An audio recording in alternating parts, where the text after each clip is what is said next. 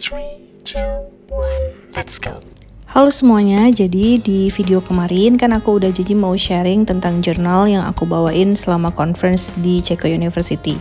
Nah ini sebelum mulai dari presentasi aku, kita dikasih kesempatan buat belajar di kelas bareng mahasiswa dan mahasiswi yang ada di University of Ceko dan kita dikasih kesempatan buat discuss. Third, it happened for the job shifting, right?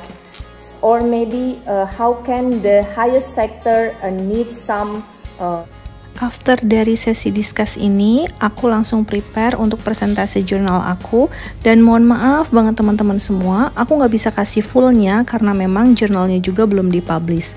So let's check it out.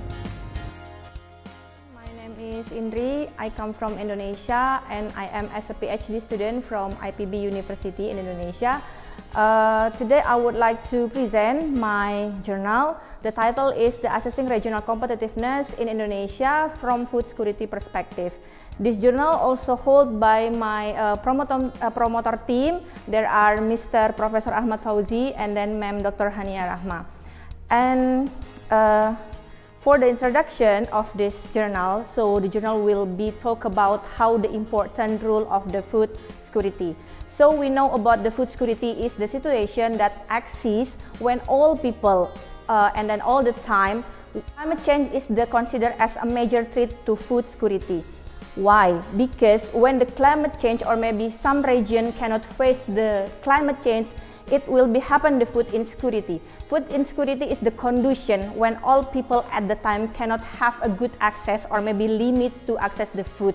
And then uh, it will be cause again the regional vulnerability and it will be a problem yeah with every single uh, province and of course the research question i have a framework so this is about the vulnerability is like a warning to every single province so that it can maintain the strength of its food to increase regional competitiveness the first uh, from the vulnerability in food security as impact of climate change like the case uh, drought and flood uh, exacerbate the vulnerability of the agricultural system.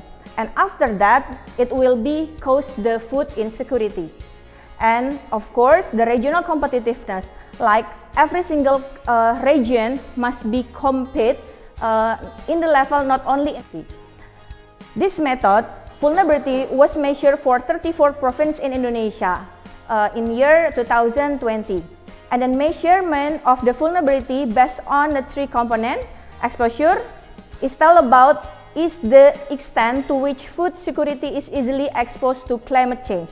And then sensitivity is defined as a thing that are crucial and vulnerable to climate change.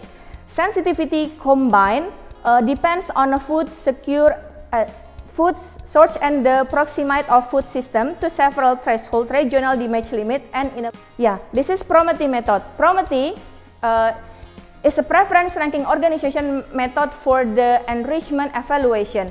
In a PROMETHEE is method multi-criteria making uh, outranking method that tries to outrank one alternative by the other with respect to preference function and net outranking flow. And then uh, preference uh, direct calculation is considered based on the index value of uh, leaving flow plus and then negative and the best option showing by uh, net flow. And determining the selection option outranking of PROMETHEE, it can calculate based on the uh, plus or maybe A, yeah, and then it will be uh, give some preference A or B is better. And this is about the result of my journal. The province that very vulnerable with the food security or its mean very in, in condition food insecure, insecure is the West Sulawesi. And I uh, give a circle, the green circle, so it's low for the exposure and high for the adaptive capacity. It could be in this position. Or maybe uh, this is a problem about the 17% uh, when the adaptive, adaptive capacity is low and then the exposure is high. Uh, of this uh, journal. So food security plays a critical role in, in regional competitiveness. Yet food security is greatly affected by climate change, uh, which in turn affect regional vulnerability. and then region that lower adaptive capacity from the availability component.